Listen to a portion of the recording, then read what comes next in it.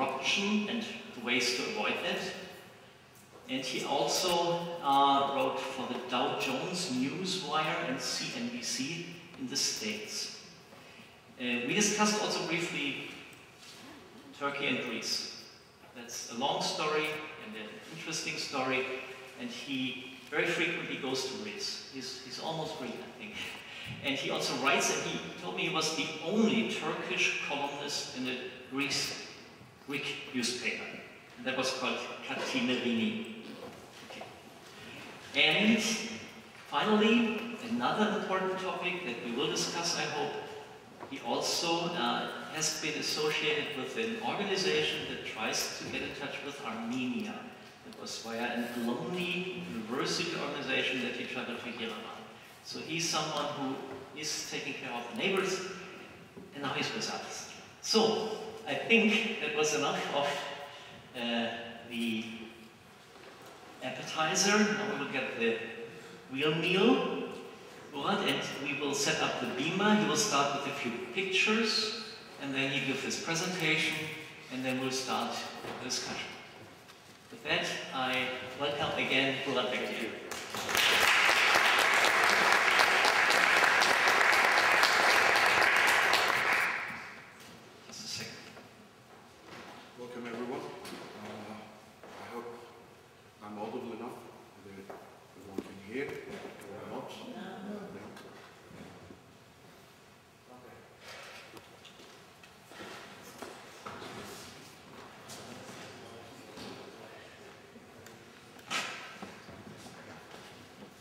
working now? Better? Good. Uh, again, welcome everyone. I'll start by showing you a few pictures. Uh, but don't worry, I'm not here to show you my family's photo album. Although some of the pictures will include members of my, my, my family in the 70s and myself. So here we go. Yes. This is uh, Ankara, the year is 1970.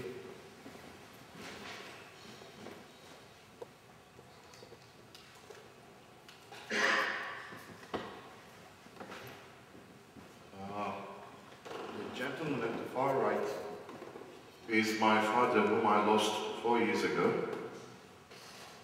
Uh, standing next to him is an Iranian gentleman, a doctor actually, and it's, it's their wedding ceremony. And the bride next to him is a Turkish lady. And next to the bride is my mother, whom I also lost along with my father four years ago.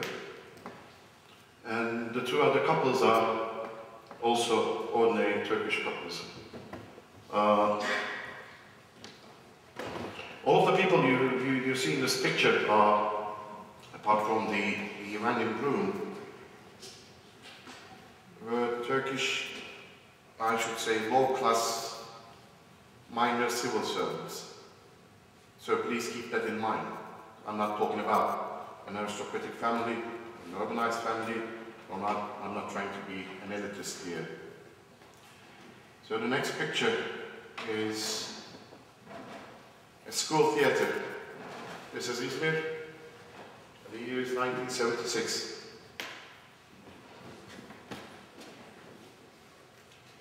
This is pure play acting, but uh, the main character here is this little boy that you see over there. His hair and mustache and hat and glasses and his dog is me when I was 10 years old. Play acting the main character of the, the, the uh, play a certain Moise, which is, I guess, still a common name among Turkey's Jews. So here, I'm talking about a government school, a primary school, graduation ceremony, a screenplay uh, acted by, by the students, 10 or 11 years old students, including myself. The main character is a certain Moise uh, that hangs around uh, villages and towns with his benevolent wisdom. We got thundering applause at the end of the play, I remember still very well. The sad thing is, that was the year 1976, and I, I, I bet if anyone dared to do the same today in, in, in the year 2011, either that school could have been bombed, the characters assassinated, or better still, uh, the schoolmaster would have been fired by the government.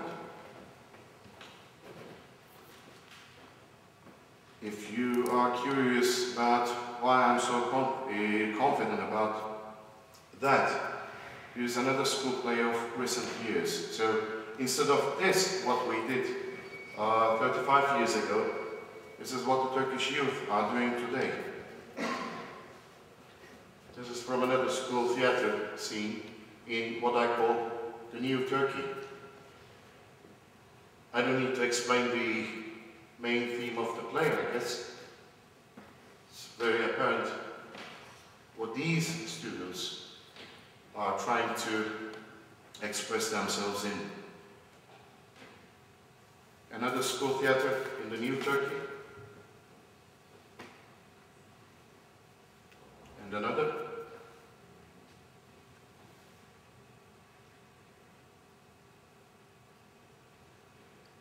And another. And this one is uh, a shot from Turkish students' performance in Germany. Happily, the Turkish and German flags stand together, and these are the students, though in Turkey, in Germany, from what I call the New Turkey. Another student's performance, and another. This one is different though. This is a performance students at the kindergarten. Mind you, if anyone is curious why these children are being forced to wear the headscarf, the religious explanation is that uh, although it's, it's not in the Quran, it's not commanded in the Quran at all, if anyone has fully read the Quran, uh, he would have noticed. Where the, the, the justification for wearing the, the forceful wearing of the, the, the headscarf is, is that if a piece of hair, female hair, is to be seen uh, by the opposite sex, that might sexually arouse the person in question. And here, as you see, we're talking about three or four year old kindergarten children being forced to wear the headscarf. So this should give you an idea about uh, mentality. Uh, as I told you, I'm not trying to be elitist by showing you the pictures of, of, of the wedding ceremony attended by, by my parents and, and their friends, but they were simply the average Turkish uh, low to medium class people, civil servants, and they were Turkish parents in the year 1970. And this is a picture of the Turkish parents today. So here they are to prove to you that I'm not really trying to be an elitist. Uh, my late father, when he died, he was living on uh, a government pension of what is today an equivalent of 300 euros per month.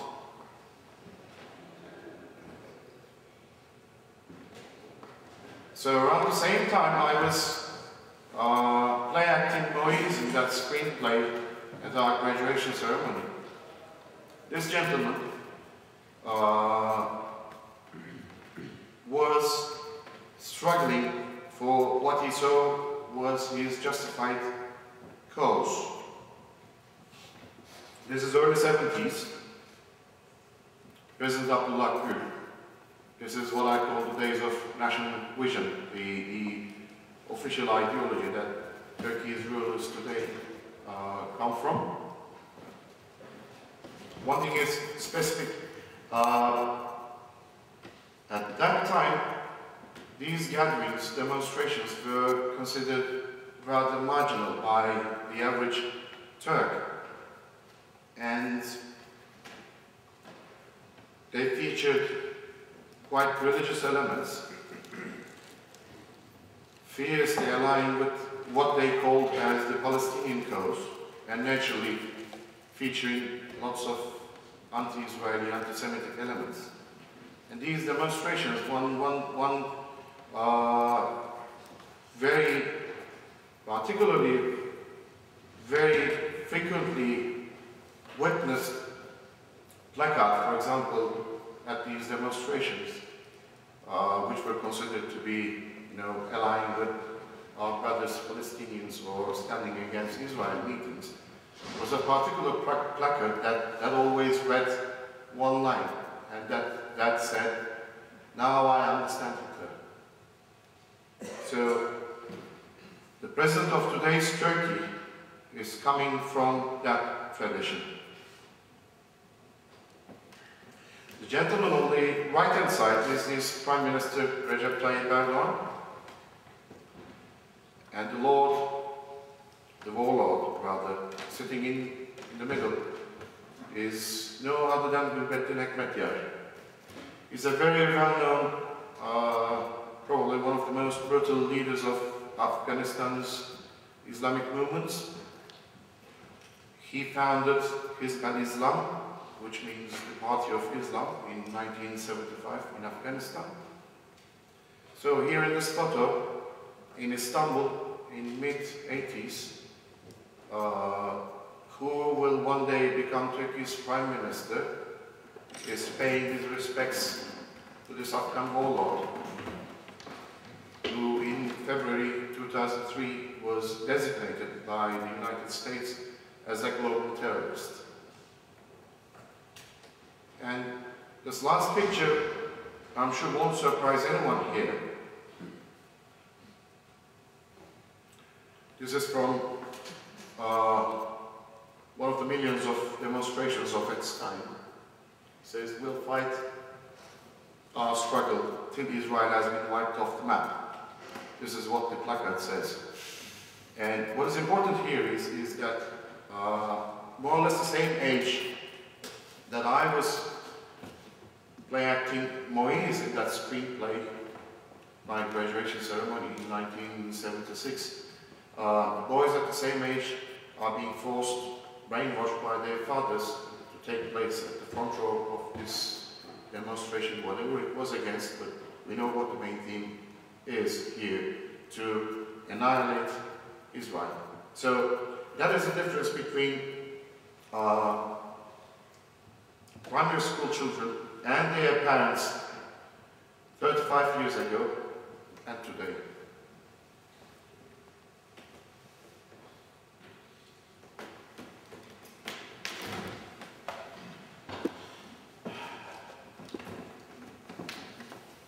Many years ago, Samuel Huntington uh, set out three strategic options about Turkey's future. The first one was EU membership, the second one was a break off with secularism and a return to the Islamic world that Turks once ruled. And the third one was political isolation built on a bizarre kind of nationalistic sentiment.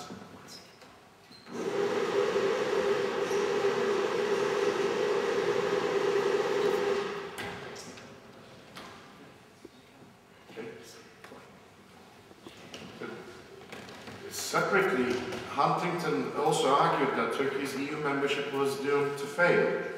And about the same time, uh, the US Foreign Secretary, at that time Condoleezza Rice, proposed the fourth option, that Turkey should always look westward, and if its EU ambitions eventually failed, as predicted by Huntington, Turkey could always rebuild an alliance with the United States as, as its Western anchor. Where Turkey stands today, I guess confirms Huntington's prophecy about its first option, uh, EU membership. we don't have any evidence that it will materialize anytime soon or whether it will materialize, ever. Where Turkey stands today also rules out uh, Condoleezza Rice's fourth option that Turkey should always remain anchored uh, at the Western Bay if EU failing, that Western Bay being uh, America. We can hardly be convinced today that this is really the situation. But then uh, there's a fifth option, which I have named the fifth option, which is a bizarre blend of Huntington's second and third options, strategic options for Turkey, which is a blend of uh, a break of with secularism and, and a return to the Islamic world, and political isolation, or emerging political isolation, built on a nationalistic sentiment. This is where really today is Turkey is, is heading for. And I know the, the, the shortcut answer to the question where Turkey really is, is, is heading for. Uh, the easiest thing to, to say is that it is heading for an unpleasant territory, an uncharted but predictable, rather unpleasant territory. But how and where and why?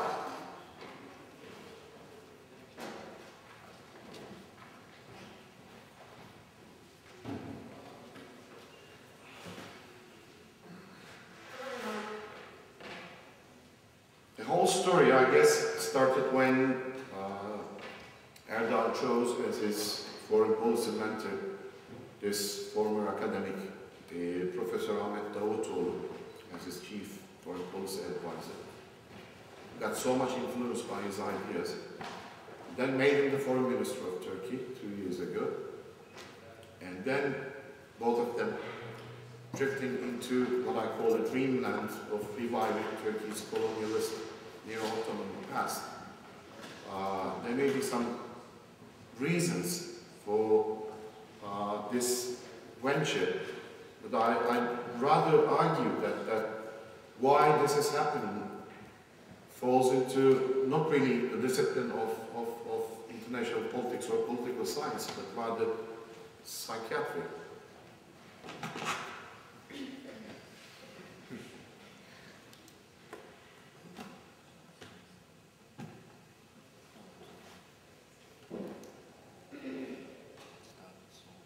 Sabotage, I guess.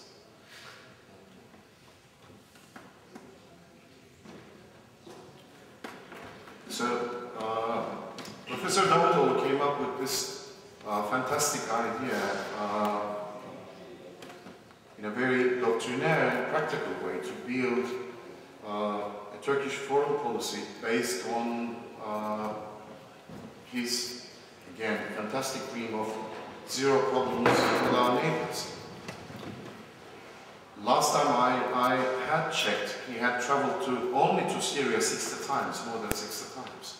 Probably it is now, count, count now stands uh, around 80 or 85. So his idea was to build an alliance with Syria.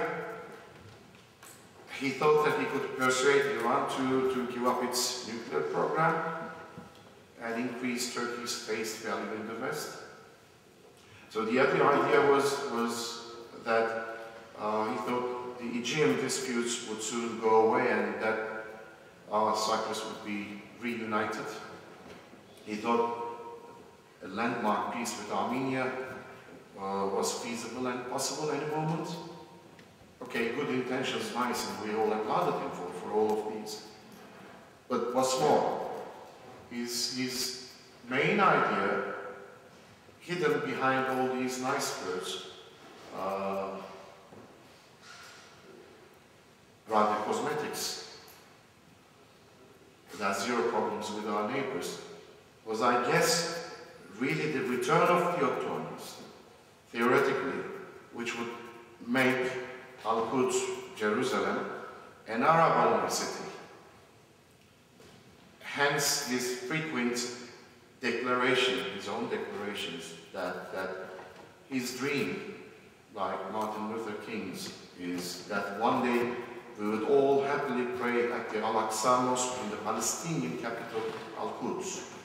So we have a prime minister, all powered by our all too powerful prime minister, who doesn't hide that his dream is that we all one day pray at the Al-Aqsa Mosque at Al-Quds, which is the Palestinian capital, and an Arab-only city.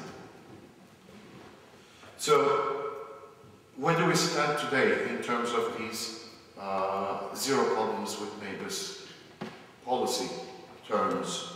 I'll tell you, today the names Davutoglu or, or, or Erdogan must be the last names that Syrian President al-Assad would wish to hear rather than just seeing them. Uh, I don't know if that's good or bad, but uh, Turkey is going through at increasingly tensional terms with Iran, especially after it agreed to host an expand NATO radar that would intercept uh, any missile threat from particularly Iran, although it doesn't mention the name Iran. Uh, but relations with, with Iran are not good. Relations with Syria are completely frozen. Relations with neighboring northern Iraq are very bad because of the escalation of violence from the PKK and Turkey's military response to that. Uh, the, the, the protocols with Armenia, which we signed two years ago, are now in the wastebasket. So they're completely gone. Nothing new on that front. Uh, there's a lot of tension on the Aegean with Greece, and more than with Greece, there's a lot of tension to Turkey's south with Cyprus, and together with Cyprus, with Israel. Recently, Prime Minister Erdogan threatened to increase Turkey's naval presence in the eastern Mediterranean for two reasons. Uh, a, that the Turkish frigates and corvettes and fighter jets would accompany any humanitarian aid flotilla like the Mavi Marmara that would be bound for the Gaza Strip. And B, to, to discourage any company that on the will of the Cypriots or of the Israelis or both of the Cypriots and Israelis would do, would conduct any exploration work for hydrocarbons off the coast of Cyprus in the Mediterranean. And our EU Minister, Egemen Bağış, recently said that regarding uh, Turkey's intentions to, to, to send, which I call the, the battleship diplomacy today, instead of zero problems with neighbors diplomacy. Uh, naval fleets and fighter jets and all that to the Mediterranean basin. His explanation in a very threatening tone, which naturally was perceived as threatening in Athens, that this is why we have a navy. This is what our uh, chief negotiator with the EU said. But funny enough, okay, I understand this is a miracle that, that Turkey has become the only country in the world that is today at very bad relations at the same time with Syria, with Iran and Israel. Okay, that's a big word. But there's, there's something funnier in Turkey's regional polity that uh, if you read one US cable quoted by WikiLeaks, uh, actually quoting Azeri President Ilham Aliyev as, as saying that Azerbaijan, which Turks think uh, is a brotherly country, that we are actually, in the Turkish thinking, uh, we are one nation, two states. This is the standard cliche reference to, to Azerbaijan in Turkey. So uh, Aliyev tells the American ambassador at that time that uh, all his country hopes to do is to protect itself from Turkey's neo-Ottomanism and Islamism. So this is another miracle that Turkey, in, imagine making nemesis neighbors Armenia and Azerbaijan uh, feeling equally distant to Turkey at the same time should be another foreign policy miracle. But uh, where do all these miracles come from? The, what, what, what is their source? Their source is uh, a book called Strategic Depth, published in 2011 by then academic scholar Professor Davutoğlu, who is now Turkey's foreign minister. Uh, I guess he, made a strategic mistake in, in arguing that. Uh, and I don't know why some people, especially Western people, are trying to look convinced by his arguments, because some of his arguments expressed in that book look rather childish to me, and, and I'm sure some of the other people in our audience today, they will look so. Uh, for example, in, in, this masterpiece of a book, uh, which I guess explains part of the reasons why uh, the Turkish government prefers, intentionally prefers tense relations with Israel, with the state of Israel, is, is in Davutoğlu's explanation. If you read the book, you would find a passage that says uh, the, the extended cooperation agreements between Turkey and the state of Israel in, in, in the mid and late 90s are to the detriment of Turkey because they help legitimize Arab nationalism. So this is the idea that Davutoğlu expressed in his book. But then we have, we can have like a hundred counter questions to, to, to challenge this idea. Because his argument is that when a predominantly Muslim but non-Arab, so this part is important, a predominantly Muslim and non-Arab country has close relations with the state of Israel, this will produce further justification for the next wave of Arab nationalism. This is his idea. So, in a way, Davutoğlu was giving, uh, 10 years ago, was giving the message that if he is one day at the helm of the, the Turkish foreign policy, he would do that because he wants to avoid the next wave of Arab nations. But this thinking uh, looks crippled in many ways. So my questions would be, why should, for example, Arab nationalism gain momentum only because a predominantly Muslim but non-Arab country signed cooperation agreements with Israel? Why should this happen?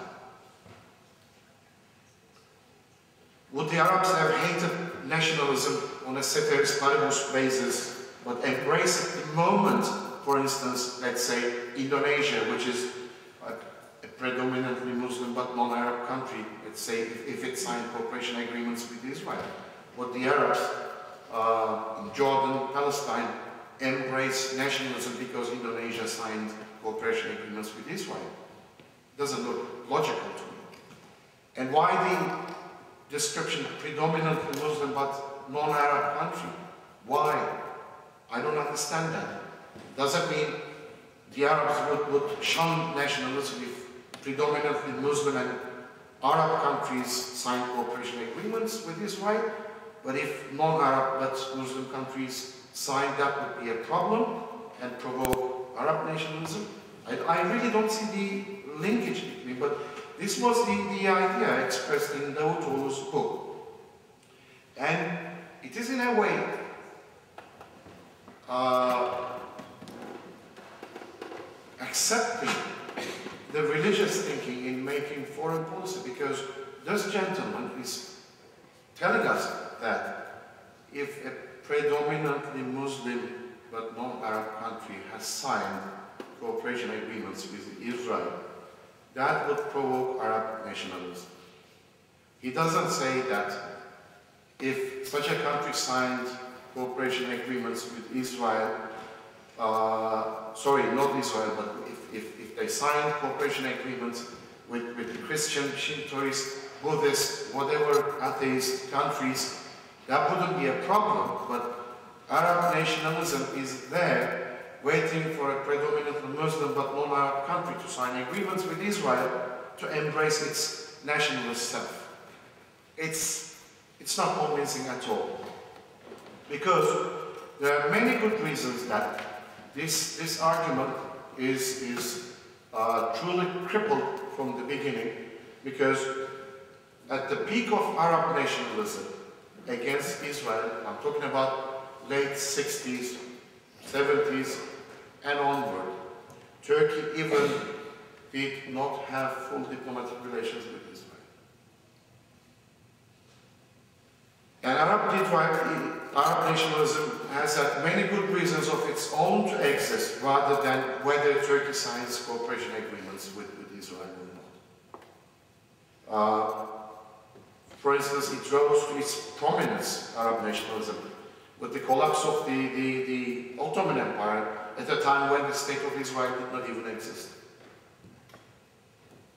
So, what is this man Davutoğlu is trying to tell us? What are the parallels between his thinking and Ahmadinejad's thinking, for example? It's very simple. If you trace out their public statements, uh, they're actually talking about the same generic theme in two different ways with two different goals. The basic difference between the rhetorics of Ahmadinejad and Davutoğlu is that the Iranian talks about no Israel at all in plain language, whereas the milder, quote-unquote Turk Davutoğlu talks about a smaller Israel and in subtle language.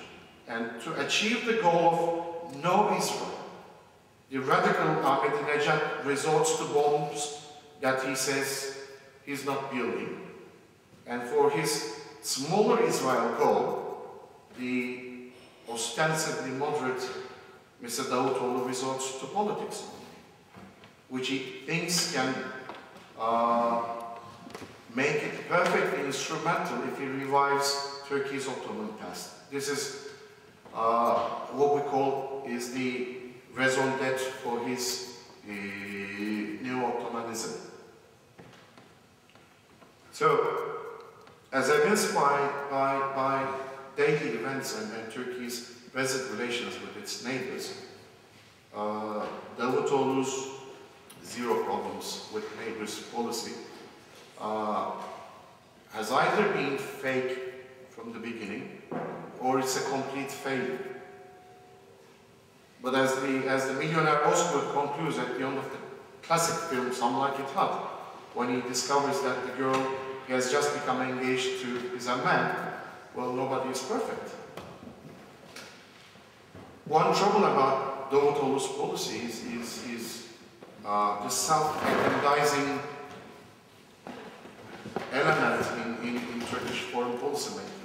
He somehow views Turkey's powers, say, a hundred times more than they actually are. And he yes, he, he puts Turkey's influence and powers under a magnifier.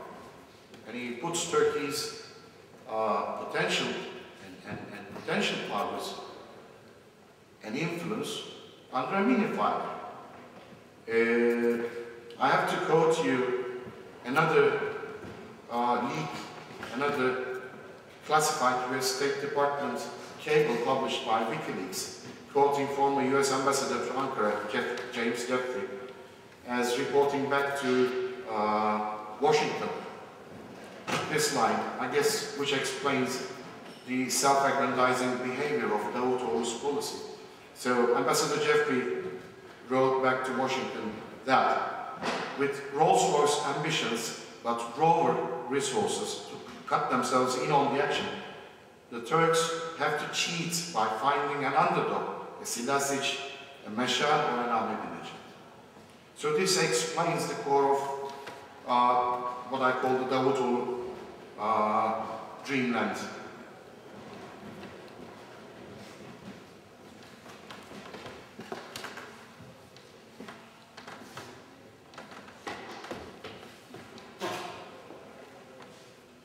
So, as we all know, Turkey was the first Muslim country to recognize the State of Israel at its inception in, in 1949. But six decades later, Turkey's leaders think it was a big mistake. And, but why is that?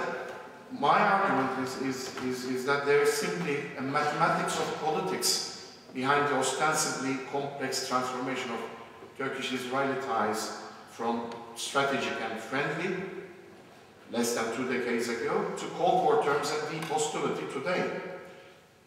The reason, the, the, the mathematics of politics here is, is that Turkey has lost its secular polity and Israel has lost Turkey. It's as simple as that. As, as President Shimon Peres told me in 2006, uh, quoting him, when holiness begins, reason ends. So in Turkey, holiness began and reason ended. In the last two decades, Turkey's socio-political demography has radically changed in favor of religious and ethnic conservatism. And in, uh, for example, June this year, nearly three quarters of Turks voted for either Islamist, neo-Islamist or ethnically nationalist parties, with the secular Turks accounting for only one quarter of the national vote. So this is where we stand today. And since he came to power in November 2002, Erdogan has fought Turkey's secular regime and challenged laws that strictly separate religion, especially from the public sphere and politics. His increasing popularity, especially among the observant Turks, and especially in the Anatolian heartland, uh, has enabled him to defeat secularism through perfectly democratic means by winning votes, and that's it. But the new demise of Turkey's secularism has also revived Erdogan's political genes dating back to early 70s when he was a militant Islamist, as those some of those pictures I, in, in some of those pictures I try to explain to you. So the trouble about foreign policy making, uh, we're talking about basically two gentlemen, Davutoglu and Erdogan. No other man is so much directly involved in foreign policy making in Turkey. In the past it used to be the military or the state establishment, but these days not even the, the foreign ministry or diplomats, but it, it's Erdogan and Davutoglu. So let's try to understand uh, his thinking and how he has faith, religion, as a, as a lens through which he views world affairs, including domestic and foreign policy. Back in January 2009, Erdogan said in a broken Turkish, which was unusual for him because he's a great orator and as you know, he's an imam by profession. He said that he was approaching the Middle East issue with a Muslim's approach. This is what he said, I'm approaching the Middle East issue with a Muslim's approach. This is where the, the, the real danger is, and, and, and this is really where, why we are standing wherever we are standing today. Hostilities with Israel, failed friendships with these Arab countries, etc. So at that time, uh, I argued in one of my articles that uh, Erdogan claiming to be an honest broker between Syria and Israel, and at the same time admitting that he's approaching the Middle East with a Muslim's approach, is like, uh, let's say, the, the Archbishop of the Church of Greece saying that with his uh, approach to the Cyprus problem with an Orthodox approach is an honest broker to the Cyprus dispute between the Turks and the Greek Cypriots. So, from the beginning, it was an illusion if anyone bought it or, or, or believed that he really approached the Arab-Israeli conflict from a neutral point of view. No, he admitted himself. He had uh, the Muslims approach in what basically was uh, a Muslim-Jewish conflict. We might uh, find better names for this conflict, Arab-Israeli conflict. But as I will try to explain, it is a religious conflict. So let's try to understand his, his thinking. According to, to, to Erdogan, again quoting his, his various statements here in this part of, of my, my presentation, uh, according to Erdogan, Muslims don't commit genocide. He said that in defense of Omar Bashir, the leader of Sudan, uh, wanted by court warrant, an international court warrant, for crimes against humanity. Again, according to Mr. Erdogan, Muslims don't kill. Muslims don't resort to terrorism. Muslims don't tell lies. They don't cheat. And one more thing. Muslims, he once told a group of journalists, Muslims don't build nuclear weapons. I wasn't there, but I would have the reflex of asking him if I had been there, asking Erdogan if Pakistan was a Catholic state. But nobody asked me because they couldn't dare for reasons probably you might guess. Uh, but one of Erdogan's favorite statements is his famous line that there is no Islamic terror. Although Google might give you, I once tried and it gave me 9.5 million results, but he says this concept, Islamic terror, doesn't exist. And it was funny, uh, there's this online humor magazine newspaper in Turkey, ironically called Zaytung, and in response to, to Erdogan's statement that there is no Islamic terror, they ran a story on their website whose lead paragraph was this. So this is a fabricated story in this humor online magazine. Erdogan's claims that there is no Islamic terror have left several Islamic terror organizations heartbroken. A statement from Al-Qaeda's press section read, the Prime Minister's remarks are very discouraging. We are doing our best. Now I'm going to read out three quotes from Erdogan. Quote 1. The killings of Uyghur Turks by the Chinese police during demonstrations constitute genocides.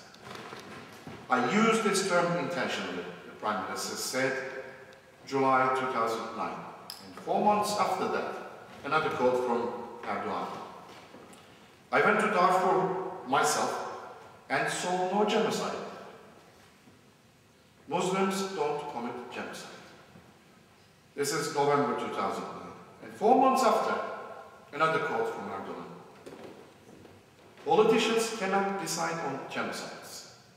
This is the duty of historians. So these are three statements on, on three different dates within a span of eight months only.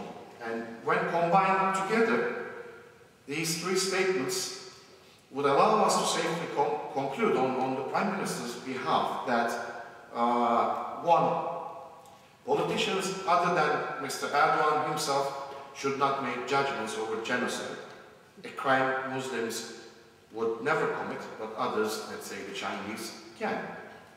And two, second result, the deaths of hundreds of thousands of Armenians cannot amount to genocide, but the deaths of less than 100 Uyghur Turks can.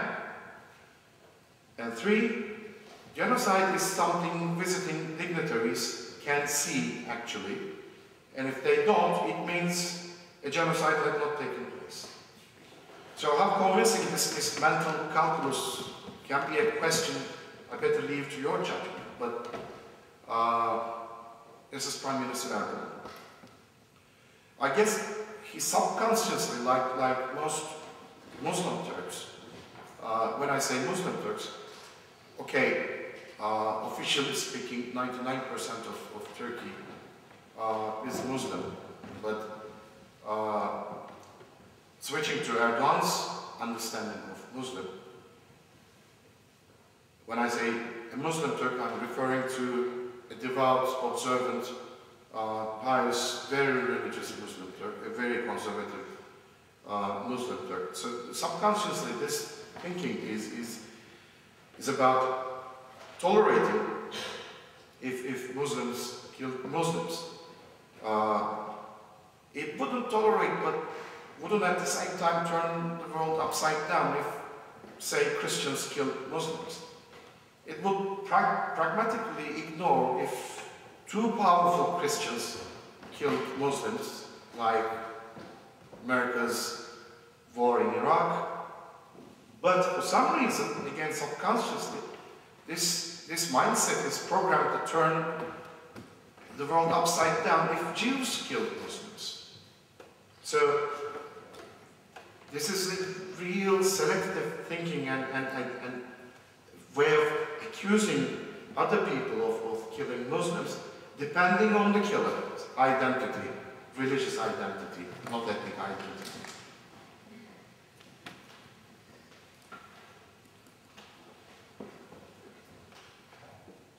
So, yes, Turkey is changing, it has changed a lot, but I'll try to tell you uh, about the confused minds that most Turks had back in 2009, uh, based on the results of a reliable public opinion survey.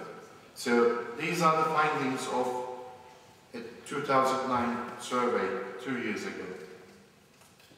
So uh, the pollsters are asking the Turks who they think, which countries they think are the biggest security threats to Turkey. Number one, the biggest threat is, or was at that time, two years ago, the United States. Understandable. Number two, Israel. And I bet if the same survey uh, been done today, uh, Israel should have already made to the top. But anyway, two years ago, it ranked second as a threat, security threat to Turkey. Third biggest security threat to Turkey in the minds of the Turks was France. You might call it the Sarkozy effects or whatever.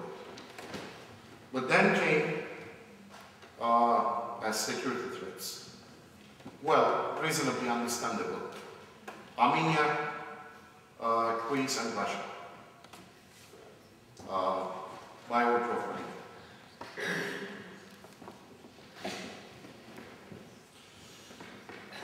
Two years ago, the, the, top five threats in the top 10 list were EU member states. France, Greece, Britain, Cyprus, and Germany. And possibly to add some humor to their responses, uh, the Turks added these two countries to their top 20 threat list. Uh, they said these two countries were security threats to Turkey. Denmark, 11th. and Belgium, 14th. So this survey also has, has revealed that Davutoglu's zero problems with neighbors policy and this, this optimism had apparently found less echo on, on, on the Turkish public perceptions of threat because Turks at that time viewed five out of seven of their land neighbors, Greece, Armenia, Iran, Iraq and Syria, as threats to their country.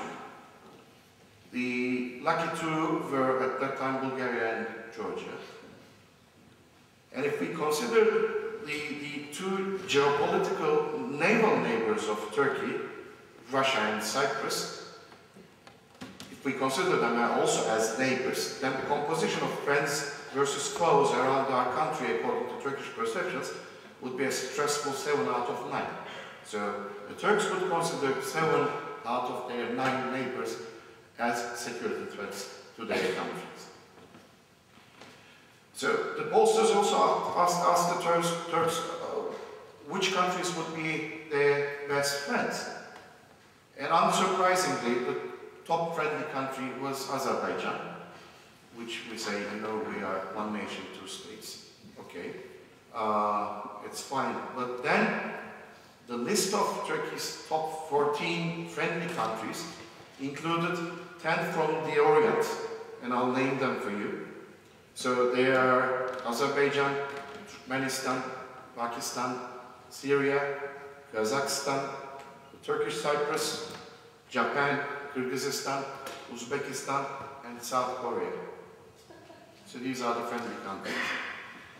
Only two countries found a place on the top 14 lists, but from the EU, we only have two countries from the EU as our friends, but they come at the very bottom, Italy uh, number 13, and Germany number 14. So interestingly, uh, the top two top threats to Turkey, according to Turks three years ago, are also the top two threats to world peace, because this was another question the pollsters asked the Turks. Who do you think is, which country do you think is the, is the biggest threat to world peace? So the Turks named, uh, again, number one, the United States, number two, Israel. Again, I would argue if the same question had been asked today, these could have interchanged their rankings. But uh, anyway, then we would see Russia as the third biggest threat to, to world peace in the eyes of the Turks.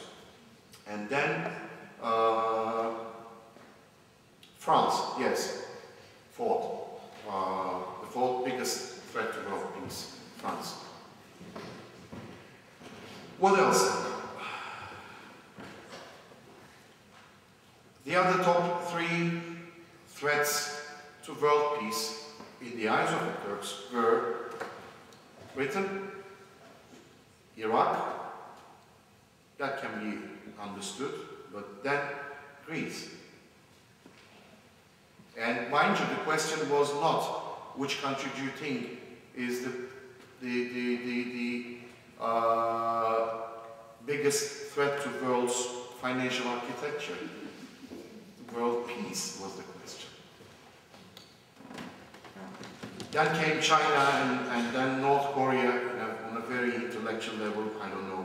But uh, the funny thing here, here is that the Turks viewed at that time, and I'm sure they do today as well, the United States as top threat to Turkey, top threat to the world peace. And when asked which countries do you, do you perceive as friendly to Turkey, here we have the United States again. But not Israel. So it's a kind of, I guess, Turks love and hate relationship with the Americans. But uh, then again, uh, two other countries fell into the same category, considered as security threats both to Turkey and to world peace by the Turks, and at the same time considered as friendly countries, and these were Syria and Germany. So Germans are a threat to Turkey, a threat to world peace, but also a friend of Turkey. Then the, the picture really gets a little bit more complex, because another question asked at that time to the Turks was which country do you think would rush to Turkey's aid, help, if Turkey faced a natural disaster or, or war with somebody else? It really gets complex. Because the country which the Turks would hope that would immediately rush to their help in, in, a case like that was again the United States. So top threat to Turkey, top threat to the world peace, a friend and the country who would rush to Turkey's aid immediately.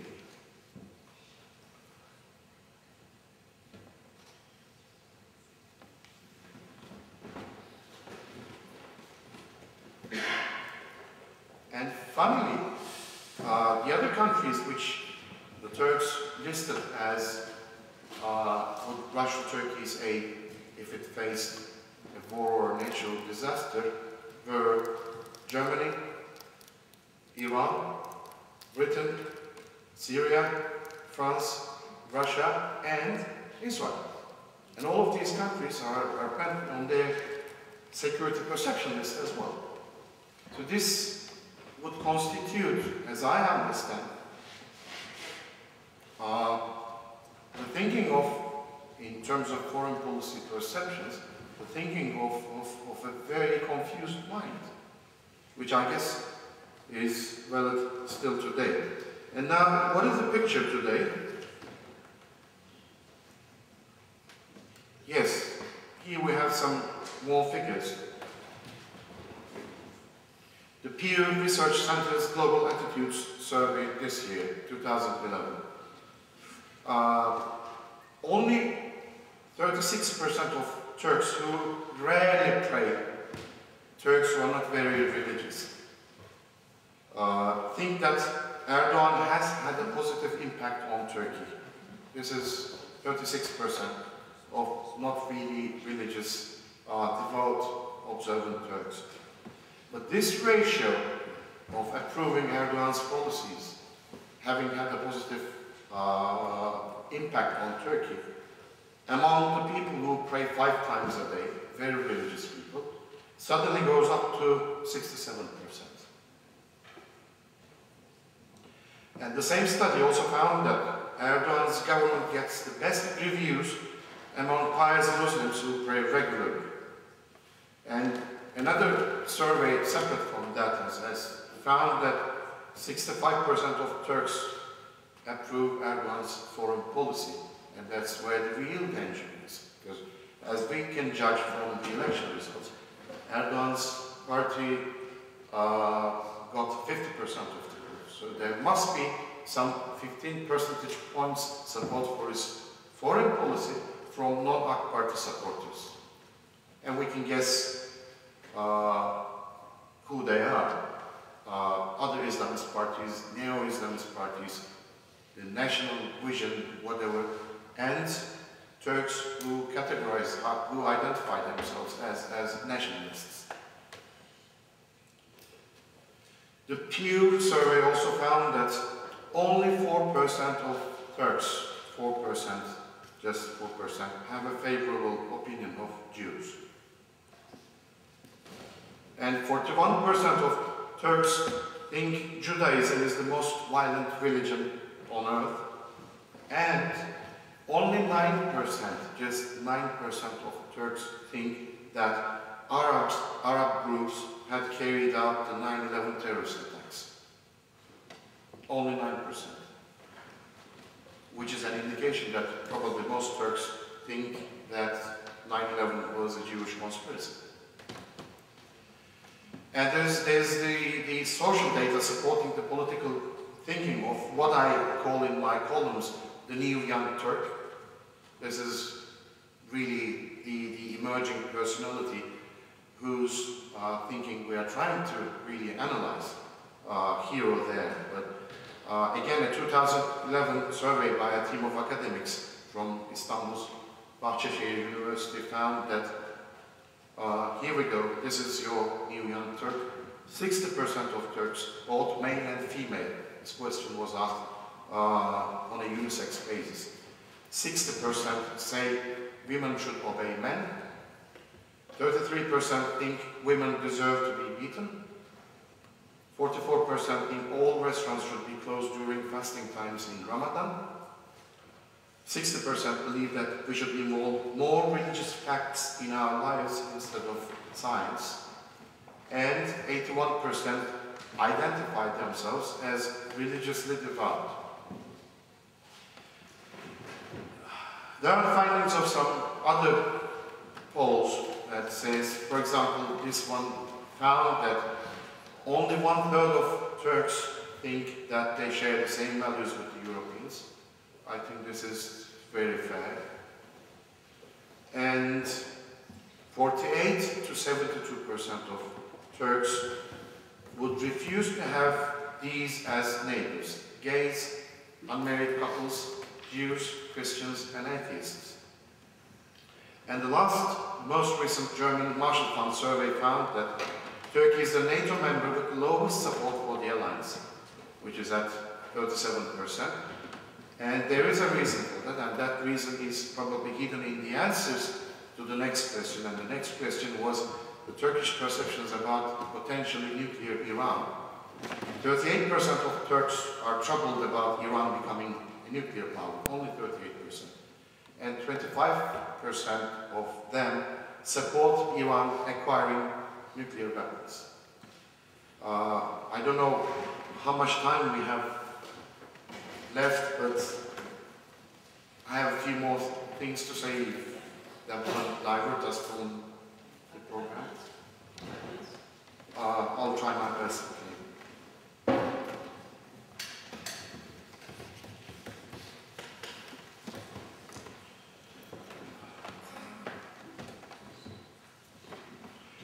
Already think about questions?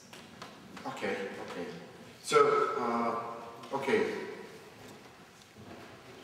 We know that in, in, in 2009 in, in Davos, uh, his increasing popularity encouraged Erdogan to, to not to hide perhaps his, his uh, anti-Semitic genes and when he exclaimed in the face of Peres that he said exactly, you know how well to kill and that you there did not of course refer to Peres himself but to Jews.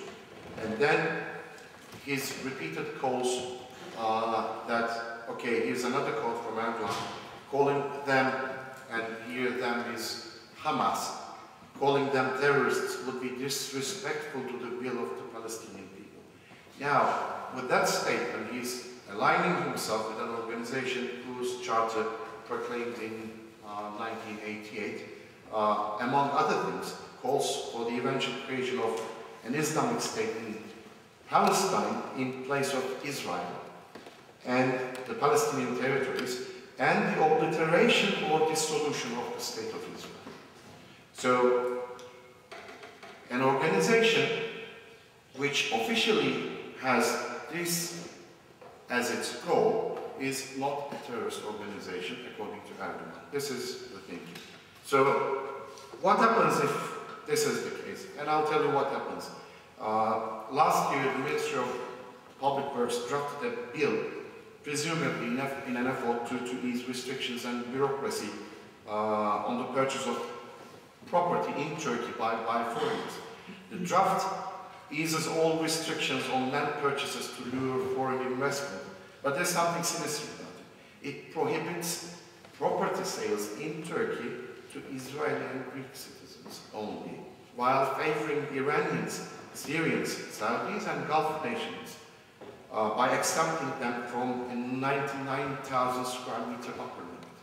So this is the government-to-government side legislation side, but the real longer term and more lasting risk associated with Turkish-Israeli relations and Turkish perceptions of Jews in general is not in the government-to-government -government bickering or conflict, but rather about the sympathy more conservative Turks increasingly feel uh, for Erdogan's anti-Israel and fiercely pro-Palestinian rhetoric.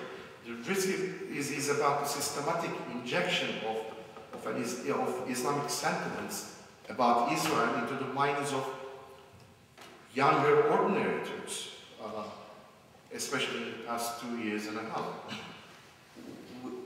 I know diplomacy is about ups and downs and, and relations can fluctuate from, from time to time, but public opinion here in this case, particular case, is, is, is often resistant to, to changing pre-coded images and, and prejudices. I'll give you a few examples, very recent examples. In 2009, and that's before the Marmara incident, a basketball game between Telekom and, and Bnei Hasharon was suspended in Ankara before it even started. During the warm-ups, Turkish fans threw objects at, at the visiting team's players and shouted, this is a basketball game, and, and, and fans basketball fans shouting death to the Jews and waving Palestinian flags. In 2010, and mind you, this was before the Marmara incident, as I told you. In 2010, a women's volleyball game in Ankara, again between Israeli and Serbian national teams, had to be played without spectators to prevent a kind of Turkish Munich, if I may say so, and in, in, April this year, a group of Israeli cyclists was banned from a cycling tour in Turkey after the Syrian and Iraqi teams threatened to withdraw from, from the competition. And in May, again this year, a prominent Israeli theatre company, Cameri, was forced to cancel a performance in Antalya because protesters planned to disrupt the.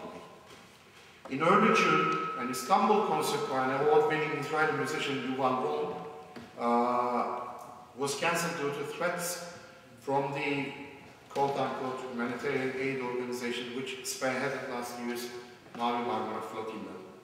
And also this year, uh, an Israeli jazz musician Itamar Erez and, and his ensemble were forced to cancel a weekend show in Istanbul due to threats from pro-Islamic uh, protesters. None of that was a coincidence, I guess. And, and in February, as you might well know, Polat Alemdar, the, the Turkish James Bond plus Rambo plus every other hero character returned to the theaters uh, with his Valley of the well, uh, Palestine. And it, the film debuted coincidentally on the day after International Holocaust Remembrance. In the film, uh, the superhero character Alemdar emerges from a series of bloody clashes to track down and kill the Israeli commander who ordered the storming of the Marmara vessel. And it still makes me laugh, really, sorry, but in one particularly childish scene, uh, an Israeli soldier upon his arrival uh, in Israel asks this superhero character Alemdar why he came to Israel. And he, he replies, I didn't come to Israel, I came to Palestine. And he's allowed an entry.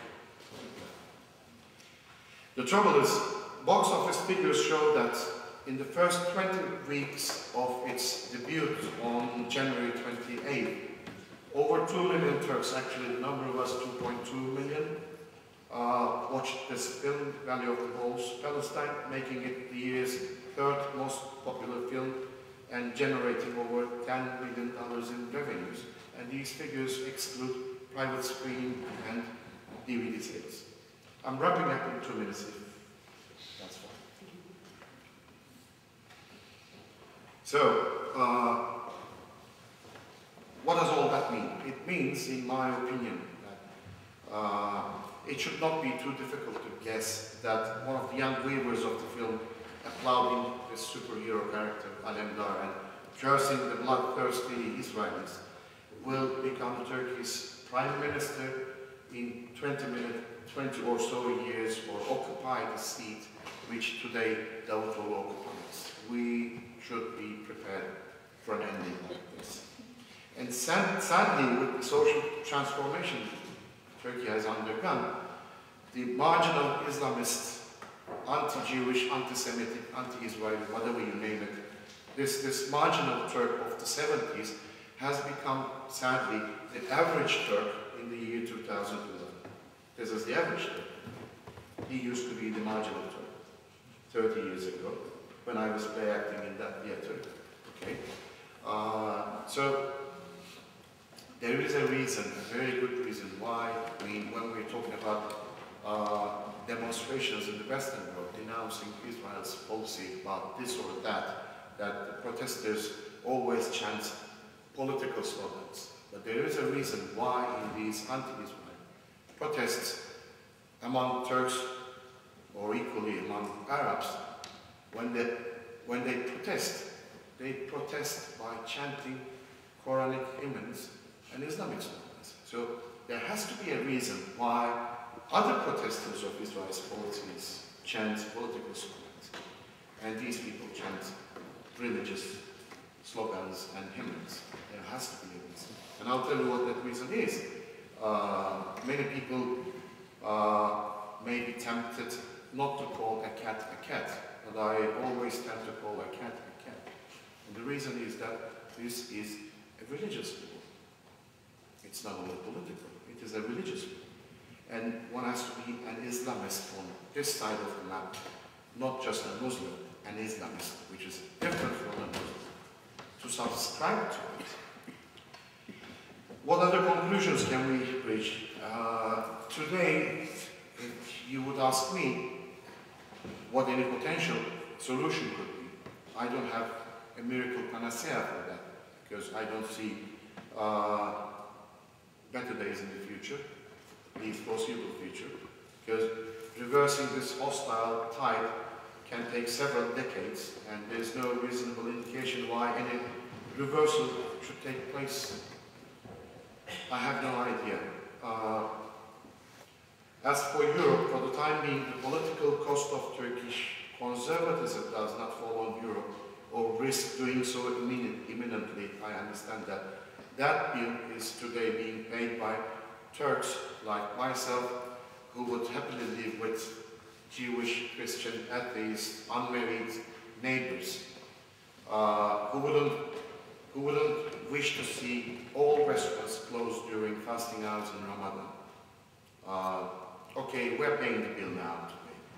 You're not paying in euro any bill, but that doesn't, or probably that won't keep you immune to paying that bill in the medium to long term because uh, linearly projecting the pace of Turkish conservatism into the next couple of decades.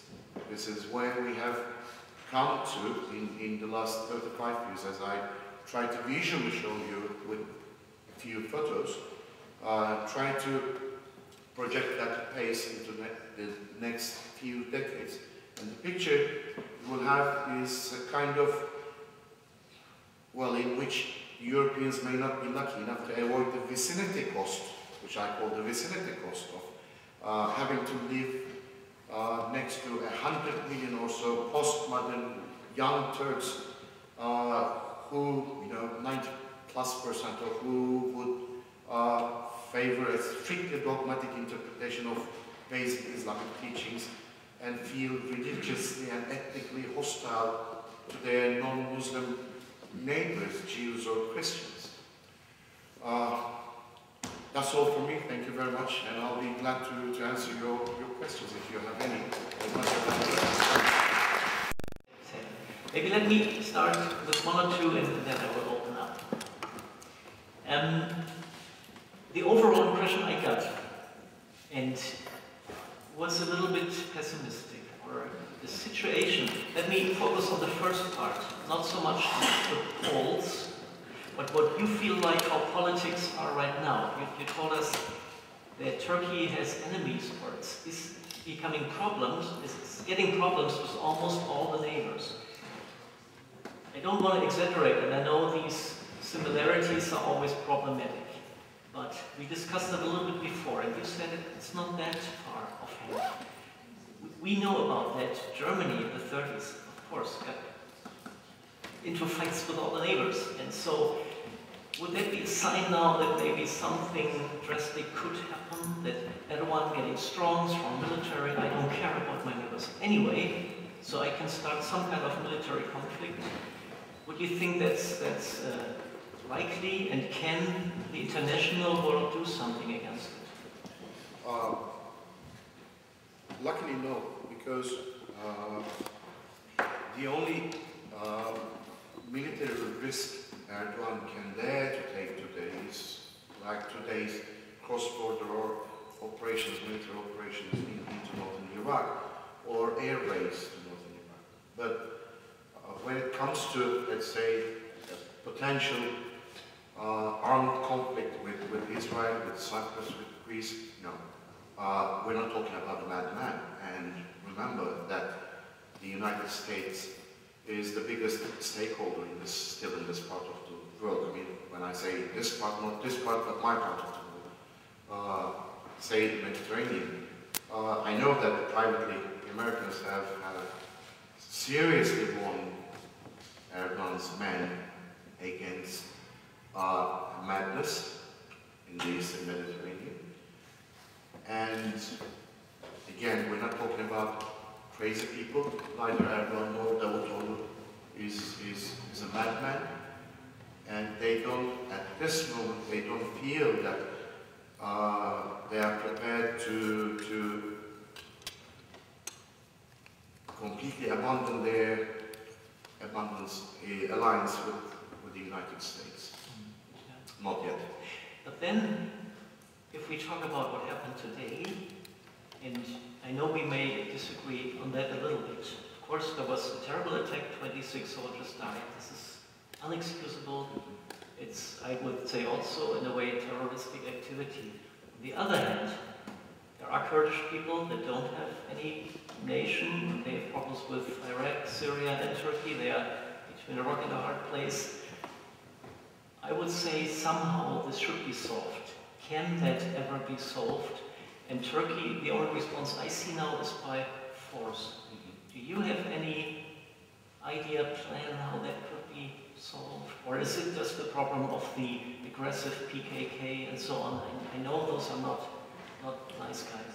It's a, it's a very complex matter, but first of all, we have to agree that uh, no matter from which organization or from whom comes violence of any sort against civilians or security forces, our Israeli friends should be the best to understand the psychology, we have to be able to categorize it as, as terrorism, regardless of how justifiable it is. So if we tend to go into the roots of what is what is right and what is wrong, and if, if a certain case of terror should be justified because uh, because of its root cause, then we might be, you know, in a way, aligning with the terrorist mind. So the, the, the thinking that, okay, the Kurds, some Kurds are, are, are, are resorting to violence and terrorism because this is the only way they can express themselves, should justify the thinking that, okay, some Arabs or Palestinians are resorting to violence because this is the only way they can justify themselves. So we have to be very strict Terrorist, terror, and the terrorist is a terrorist, no matter what his motives or, or, or reasons should be, or how, how, justifiable his motives can be. But as for the, the second part of your question, I don't see an imminent solution to this very, very extremely complex pro problem because, uh, well, in the first place, I believe that the Kurds should have been uh, allowed to have their own uh, independent state at the beginning of the Turkish Republic, not after it was founded. Again, this also reflects one of the, the, the uh, short-sightedness of the Turkish policy and foundation of the Republic again. Uh, the Turks, including Atatürk, uh, they thought Jews, Greeks, and Armenians should be the minorities because we don't share the same religion with them. But the Kurds should be the Turkish citizens because we share the same religion. So if you have this religion-based uh, lens in making policy, domestic or foreign, unmistakably you are wrong and you end up in a complex situation like that. Uh, I don't think any of these non-Muslim minorities would have been violent as much as the PKK has been in recent years if they had been allowed the same rights as, as the Kurds. Kurds were treated in a very bad way, uh, but they were first-class citizens of Turkey, unlike non-Muslim minorities. So if you rely on faith as a common denominator, this is where you end up like 40,000 graves It's a complex problem. It is a very complex um, problem. I, I will finish with one last question, then we'll open up. I had a little more prepared. We're running a little late. Coming back to the Middle East, to Israel. You mentioned, and we have discussed that within SPME, we wrote letters protesting against the airing or the opening of the movie Valley of the Wolves. And to me, what I heard about it, I didn't see it, it's clear that this is a, a really bad propaganda piece which tries, and I didn't know the numbers, 2.2 million, that's a lot. And then the kids tell their friends, and they play games, and it multiplies. So again, to me, there's this analogy. I mean, in Germany, this whole propaganda was kind of invented and even was aired into the Middle East. That's another story. But to, to, to use mass media to influence, and then, so these polls now do not come as a big surprise to me. So now that the people are really manipulated, that to me is really disastrous. Big people, it's a big nation, and the opinions are so in, I would say, the wrong and one-sided direction. You as a journalist, is there any way to, to, to revert that or this must have implications on anti-Semitism and, and, to the relations to Israel and, and, not good consequences. Can you maybe elaborate on that? That's a very yes, as I, as I, as I said, this is where I see the real danger in, in, in contemporary Turkish politics. Turkey is you know, moving uh, towards kind of a, a very bizarre blend of over self-confidence and, and ethnic and, and, and religious conservatism.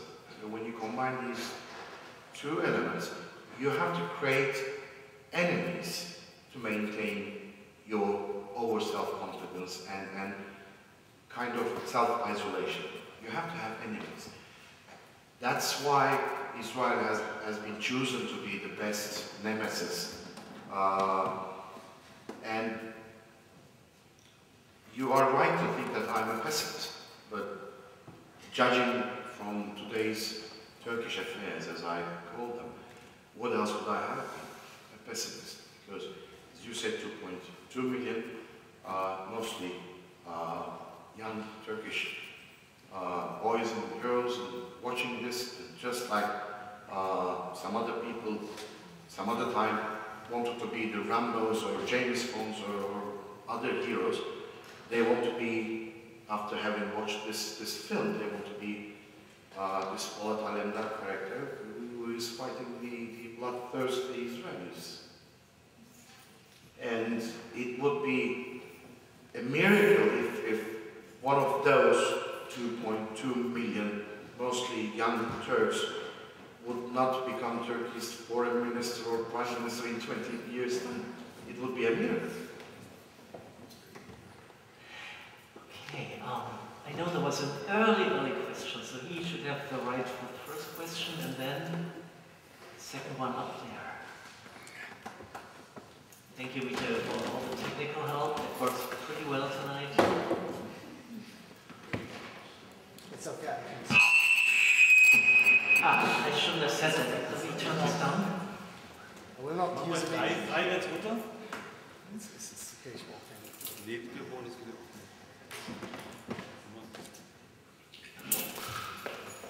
Uh, thank you very much for your very interesting lecture. My name is Monty Goldman. I'm an Israeli citizen and I have been living in Berlin now for the last 30 years and I've got a few questions to you.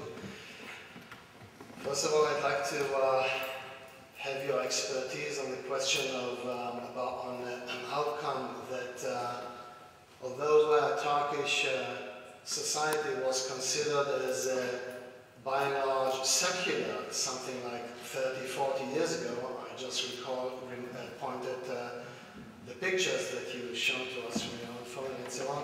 How come that this uh, Turkish uh, society shifted slowly, slowly towards religious society that supports uh, political parties like Erdogan's and politics like Erdogan's and Deva Toglu's. Uh, this leads me already to the next question, and that is, do you think that Turkey's close ties to Israel and to the Western world, I would say, and I would like to call it, Turkey's close ties, did they base on broad social support of Turkish society in the past, or did we fail to realize that these close ties were supported and by and based on quite narrow and small parts of the Turkish society that ruled and dominated the Turkish society, like the military, like Turkish political hierarchy, and so on. Maybe Next question.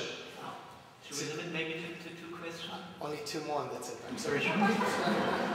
Very short. Um, okay, then uh, very important for me personally to know um, what do you think does how, how do you think does um, the Turkish military look at all this development, political development in Turkey within the last 10, 12, maybe even 15 years? And the next question is how could come that Turkish military yeah, as we look at it or perceive it here in Europe, gave in or surrendered in the battle against Erdogan. This is like a very big, big disappointment, I'd like to have uh, your comments on this. Thank you very much.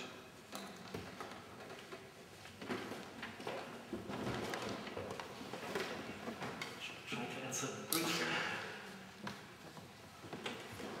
Right. Uh, there isn't a single answer or explanation for the shift you mentioned from uh, secular society into uh, conservative society, but there are a number of reasons for that. Uh, my explanation is that what Atatürk did about 100 years ago was to po- only to postpone what Turks would eventually like to, have in their own country. So it was something unnatural, it was something imposed from the top by, by Atatürk.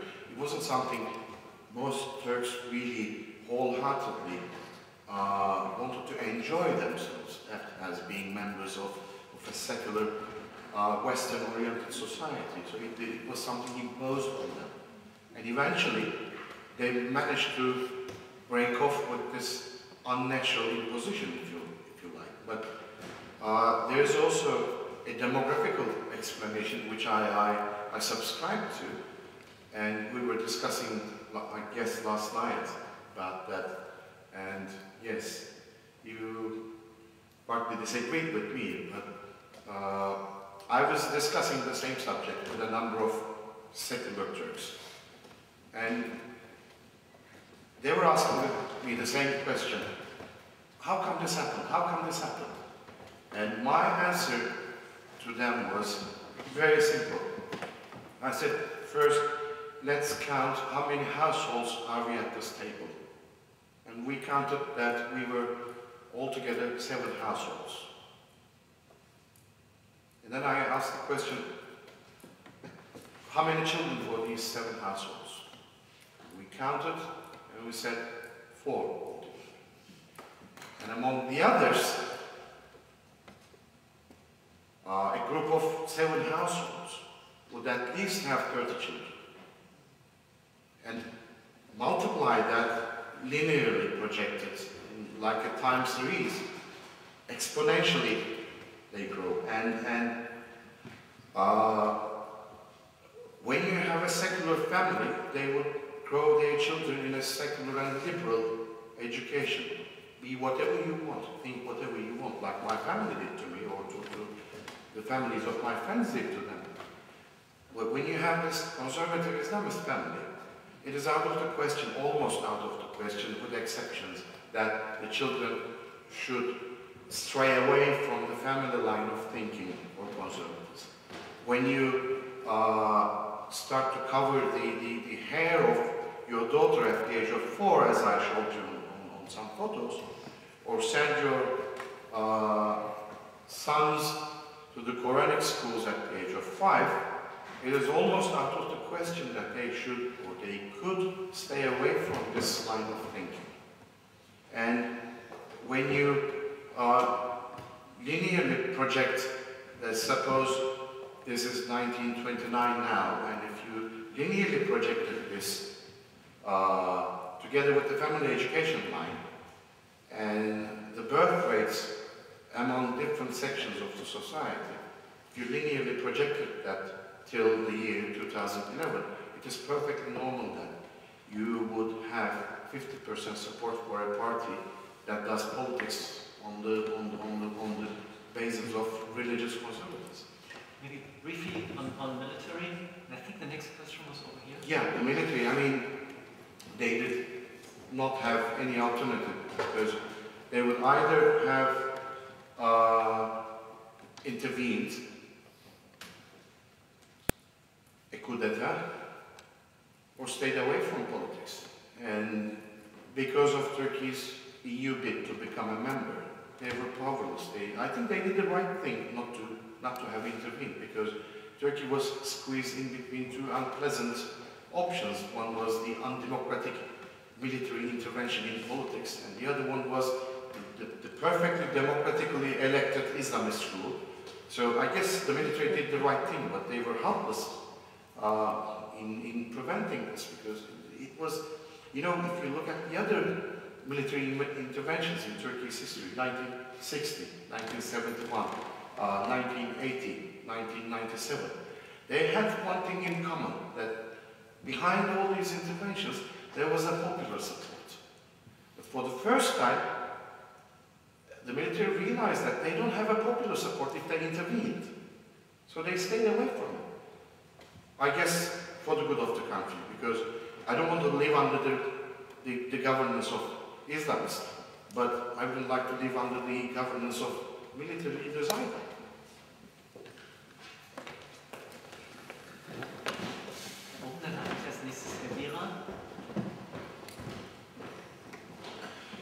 Mr. David, uh, first of all, I want to thank you very much for a very interesting speech.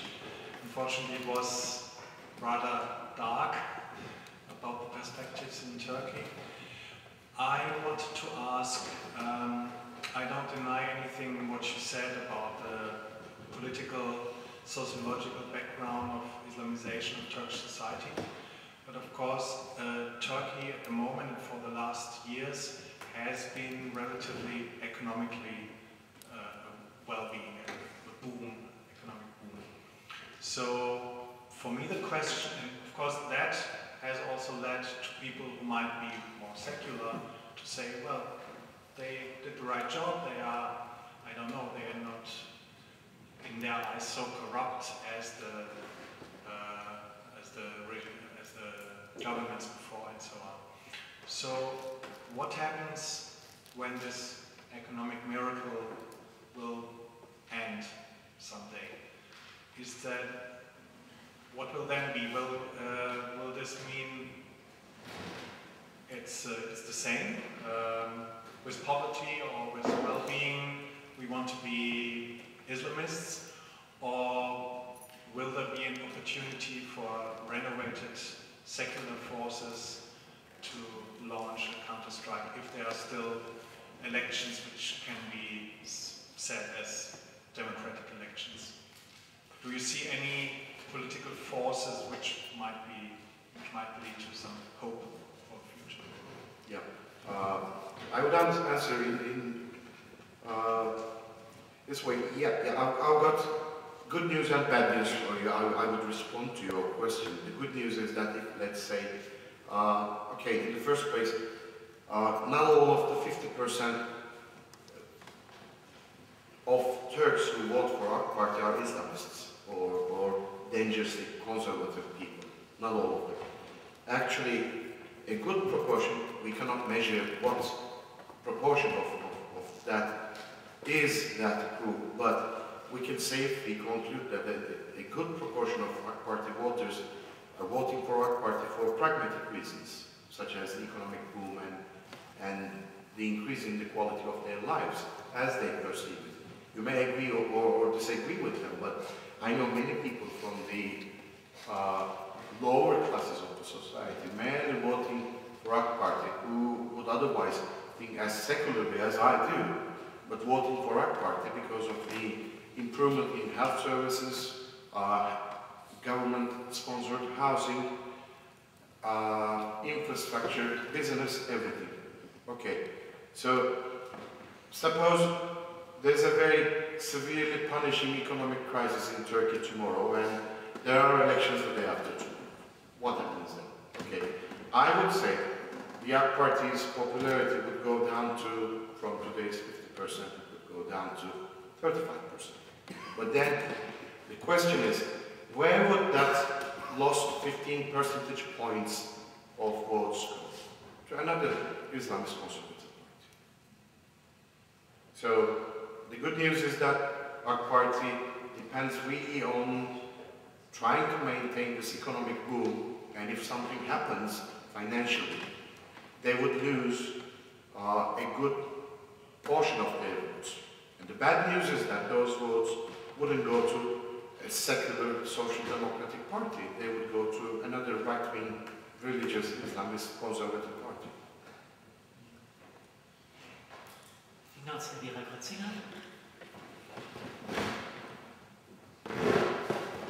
Thank you very much for this uh, very interesting uh, picture. I have uh, one provocative question and another more serious one. I'll start with a more serious one. Um, I lack logic in the Turkish approach to terrorism. It's been a very tragic day today, but it's not the first time. And how can the same politician be a friend of the Hamas and an enemy of the PKK, I, and the public, the general public, doesn't see the lack of logic?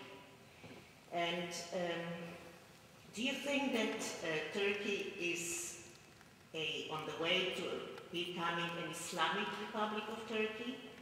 Or be an Ottoman, not an empire, but an Ottoman Republic of Turkey, uh, which would uh, implicate um, the uh, power over the whole area and over the Arabs, which um, who never loved Turks, and it, it was on both sides lack of love.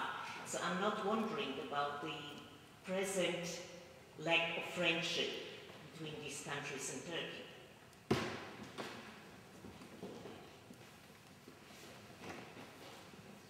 The contradiction you very rightfully raised about the double standards of Turkey, I mean Turkish people's uh, perceptions about what is terrorism and what is not, is something uh, actually a column which I wrote a few years ago with the title The Great Turkish Hypocrisy.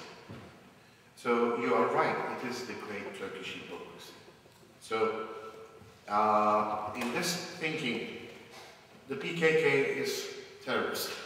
Again, in this thinking, I would have expected my, my nationals, uh, including some of my friends, to, to be consistent and honest enough to consider any terrorist attempt or activity or campaign as terrorist, any, in the world. Bolivian, Chinese, New Zealandian, or whatever. But no, this is not the case.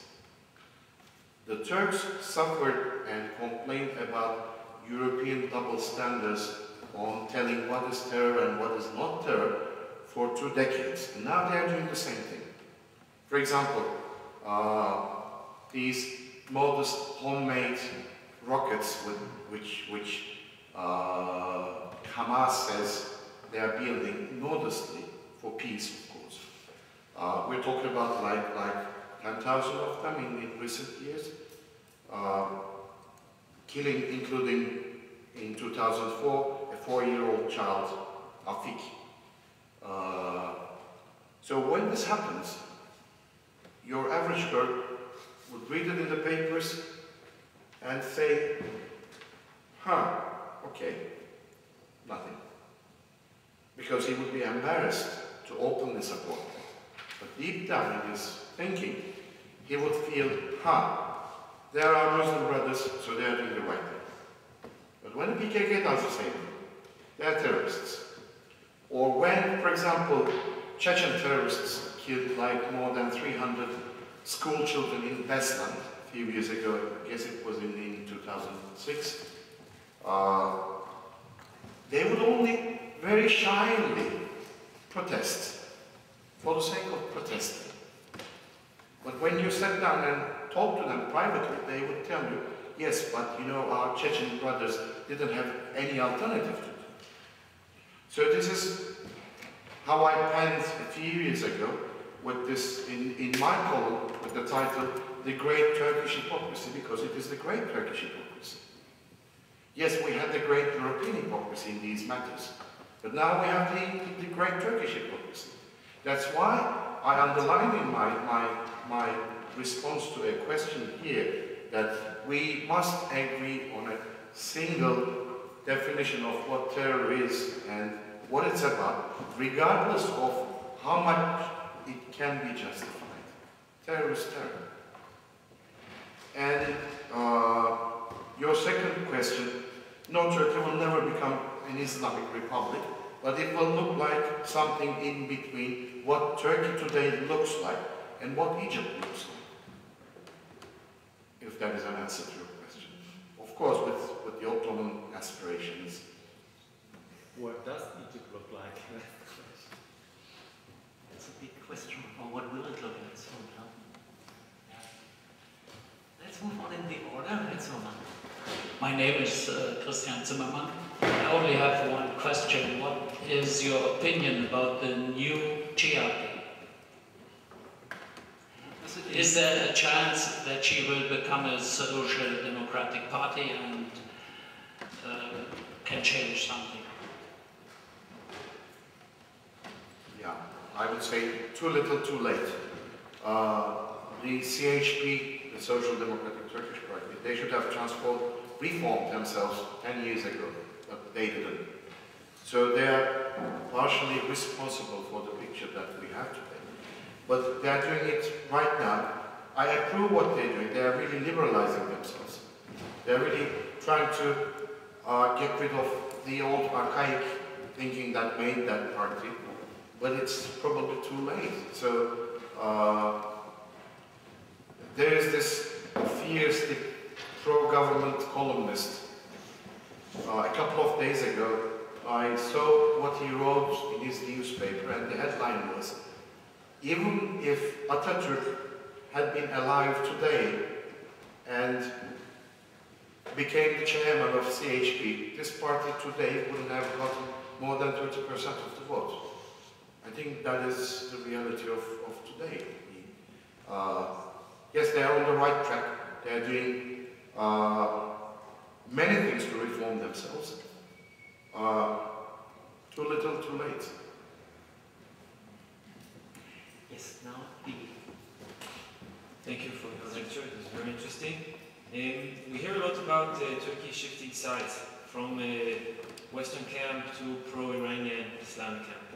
Um, how, about the claim that actually says, mainly said, mainly supported by pro-government uh, supporters in Turkey, which say Turkey is not switching, switching, is not shifting sides.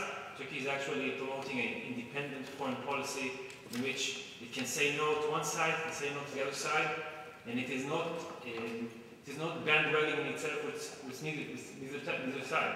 So what is your what is your answer to that? Well, I, I would name that policy as, as uh, you know, the poet Lydgate's uh, famous line says, uh, you can please some of the people all the time, or all of the people some of the time, but you cannot please all of the people all of the time. So this is what Turkey is trying to do, to please all of the people all of the time, which is not possible in, in foreign policy. Uh, but basically, their idea is that they can, they think they can fool anyone. Actually, they can fool all of the people all of the time. This is their idea. By changing sides very often, shifting from one uh, block to another, uh, changing strategies, tactics on a daily, sometimes hourly basis. But what they try to do is that they think if they zigzag, continuously zigzag between pragmatism and Islamism, they can fool everyone and all of the times. And one day, I think, and I hope, that they will be reminded by outside forces that this cannot happen. Thanks.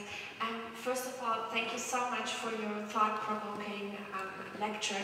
I would like to ask, with all that you said, what would you and how would you consult our policymakers in the European Union and Germany especially with the huge Turkish community that is not very well integrated uh, into our society? How to deal with Turkey? What policy should the European Union, what policy should Germany uh, follow uh, on Turkey? What should be done? What should maybe not be done? Um, that would be my question. Thanks. Right, okay. Uh, I'll try to uh, describe a metaphor, and maybe that will be an answer for you. I think uh, in my metaphor, AK Party is doing a lot of Israel bashing, sometimes siding with, with, with Iran, uh, perhaps willingly or unwillingly helping out its nuclear program, siding with Syria. Uh, you know, these are, as I, as I see them, rogue states. So, this is a kind of behavior that comes right from the hearts of the Islamists. So suppose this is like an alcoholic going out to a bar and drinking every day. This is what his heart tells him to do. So this is my metaphor. Uh, normally, if you have a weakness to go out and, and have, say, five bottles of wine at a bar every day, that should have a cost for you. Financially, and in terms of your health. You may have a bad liver, whatever. Cirrhosis, whatever. So that is the cost that should keep you, uh, or that should provoke you to limit your drinking. And this is the real reason, the detriment to your desire to follow what your heart tells you to do. So if we apply this logic to, to, to our parties, continuous Israel bashing and this and that, it, it will give you a picture that this man goes to the bar and drinks every day five bottles of, of wine and rather than him paying the bill at the bar, somebody's paying him 100 euros every night. And he has his health tests done the next day and he sees that his liver is in a perfect shape. So until the moment they realize that there has to be a cost associated with their policies, they'll keep on doing this, following this path. And going back to your question after this metaphor, uh, the EU used to be the soft power on Turkey. It had some sort of an influence. Uh, but with its policies to cope with the AK Party, uh, they have come to a point that AK Party really doesn't care about the EU or any soft power. So if they are going to one day face the cost of their polity, like somebody reminding this drinker that he has to pay for what he has done, or uh, perhaps his liver not performing well anymore. It is not the EU, it should not be in the EU. But if you read the latest uh, progress report, it's too soft, too weak. It's been no longer a soft power, not even a soft power. And what else? I don't know. The United States? I don't know. They have their own agenda working. Uh, but as long as this man does not face any cost, he will keep on drinking. We have the person on the list, Jonathan. Um, thanks for your um, presentation.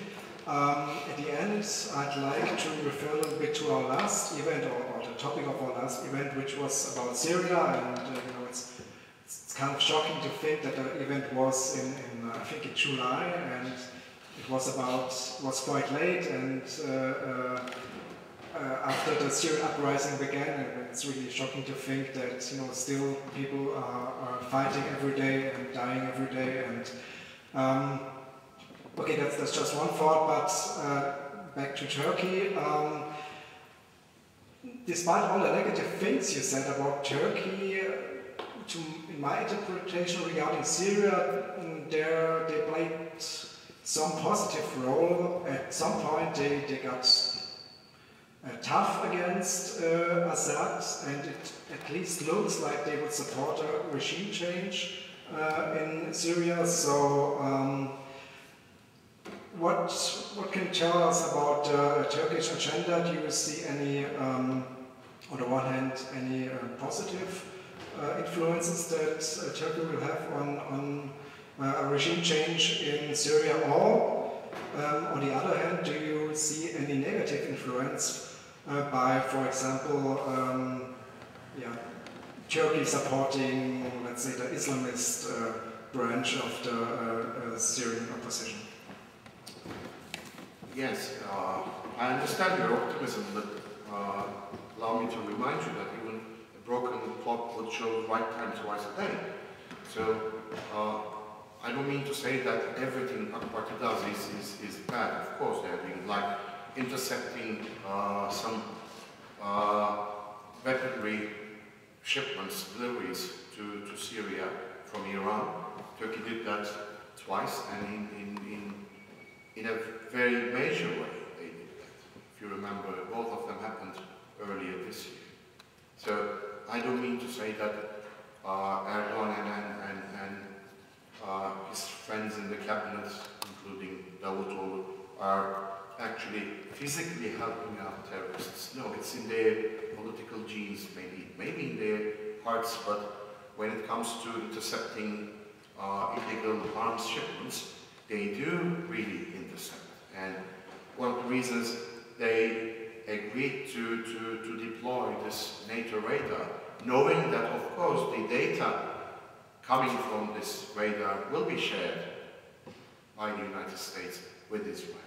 They agreed to that. This is, as I told you, zigzagging between uh, a pragmatist agenda and an Islamist agenda. So when they feel that for their survivability, they have to cooperate with uh, the West, protecting Western interests, they will do that happily if they notice that this has to do with their survivability. So in this case, Syria specifically, uh, first of all, they never really liked al-Assad because of sectarian reasons.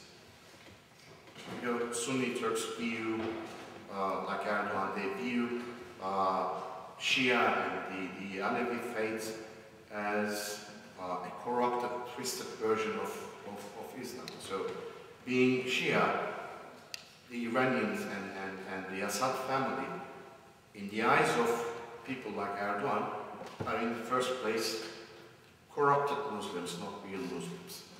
So uh, deep in his heart, he wouldn't really feel sympathy for him. He tried to build uh, working alliance with, with, with Assad on the basis of common interests. But apparently that failed. Uh, but the real reason why Erdogan came to the uh, popular Western line in asking for Assad's departure is that because he thinks Assad's possible uh, successors will be Sunni Islamists like him, with whom the Turkish government already has been in touch. Okay, I will take the liberty for the last question. If sure. you give a short answer, we will have a landing on time, 9 o'clock. And actually, it's a good link. My question, I have the hope, has also a little bit of an optimistic outlook. Turkey, Iran. When we think about it, to me, it's a big threat. If, if another power now with a lot of nationalism, Turkey arises being strongly against Israel, and if they should join forces somehow with Iran, then that whole region, I think, will be in, under bad forces. Now, what you mentioned, Sunni Shiite, that may prevent that from happening. Is, is that, can you give us maybe, I know many people are here from the Stop the Bomb initiative, many people are very much involved in Iran. Can you, like, um, make us a little relief that that will not happen, that that maybe just some tactics now to be against Israel and to, in a way, join with Iran? Well, it's, it's a complex matter again, because you have to uh, try to understand the Sunni Islamist thinking, uh, which is that they would, they would ally with the Shia if the enemy is non-Muslim. But if, if, if it's an internal strife, among the Muslims. They would ally with the Sunni against the Shia. So it depends on uh, what sort of alliances we're talking about. So uh, apparently, if you look at what Erdogan has repeatedly said in his verse, I'm quoting him, uh, the main obstacle to peace in the Middle East is Israel, he said many times. Doesn't say uh, Iran's nuclear ambitions or potential nuclear uh, weapons acquired by the Iranians would be uh, a trouble for the region. No, he says that Iran, in fact, implied that Iran has every liberty to, to develop its own nuclear bomb because another state, Israel, has already uh, nuclear weapon capabilities. So this is his thinking. Uh, here, is Israel is on his target, but on a ceteris paribus basis, if, if, if, if we can take out Israel from the picture, he would then object to Iran nuclear weapons because it's a Shia state. So deep down, I know it's in the uh, it's in the hearts and minds of Erdogan and and and, and Davutoglu that if there is a there's going to be the second state in the Middle East that has nuclear weapons capabilities. It is not Iran, it should be Turkey. Okay.